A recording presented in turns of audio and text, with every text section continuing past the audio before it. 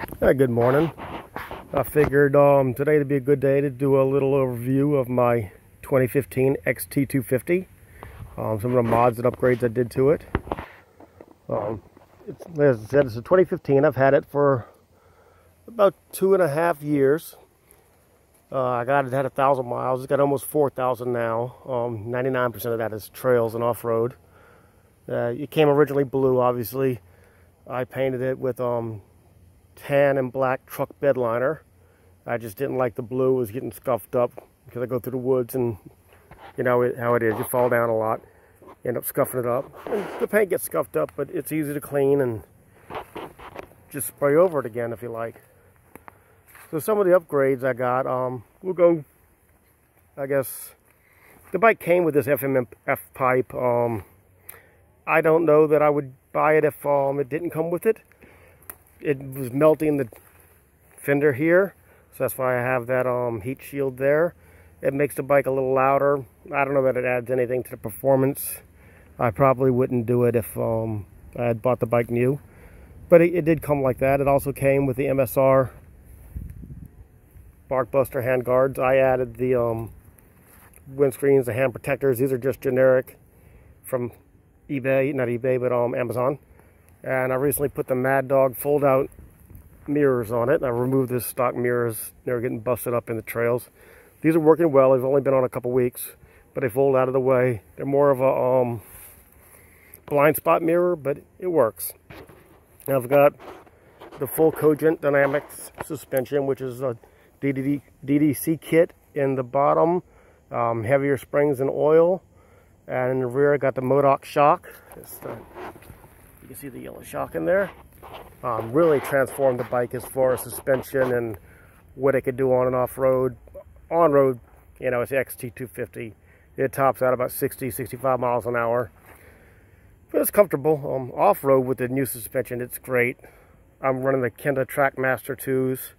I've uh, been through a couple of different sets of tires, but um, these are great so far. They, they hook up. Um, some of the other mods, I've got a, I think it's a DID HID headlight kit in there, and a Nightlights 20 watt spotlight there.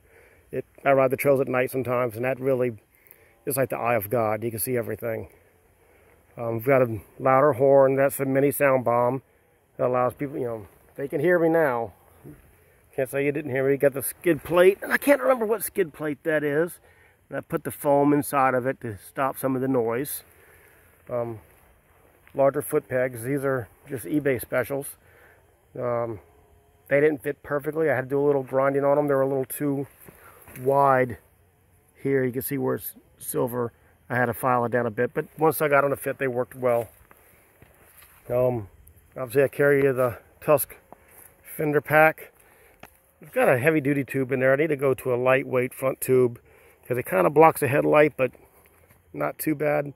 I think a smaller tube would probably be best. Um, got this little tank saddlebag that's for a ATV. It goes right over the tank. It straps down with some elastics. I keep a um, water bladder in here, one and a half quart water bladder. My hose goes to the tank bag with Velcro so I don't have it flopping around. Um, just an Amazon bag here with tire pump, some survival kit stuff, and first aid kit, toilet paper, all the good things. I have a tool tube down there with my folding saw, tire levers, uh, chain lube, things like that. Uh, tank bag, just a Sedici tank bag from Cycle Gear. It carries my wallet, all my stuff. I have the Garmin InReach, and I also have a Garmin GPS. Um, I bought them at separate times if I had it to do over again and I knew about it, I would have got the InReach with the maps and GPS all in one and have one unit. But I bought them at separate times and it is what it is. Um, yeah, the bike's great, runs good. Um, I got heated grips on it. I did put on the um, just some cheap heated grips. Got the switch for it right here. I got a 12 volt auxiliary um, outlet right here, which I charge the GPS and my inReach and my phone, whatever I want. Um, yeah, you know, got a rack on the back. And let's see what else. This right here, oh, I did a fender eliminator, um, tail tidy. So I got rid of that really big tail light there. This is a little box. You get these on um, Twisted Throttle or some other places. You unlock it. I keep all my registration, all my paperwork in here that we always have in this waterproof. Got the seat concept seat, and that made a big difference. Um, you know, that's about it for the bike. It's it runs really good. I, I like the color of it. It blends in a lot more when I'm out stealth camping or whatever.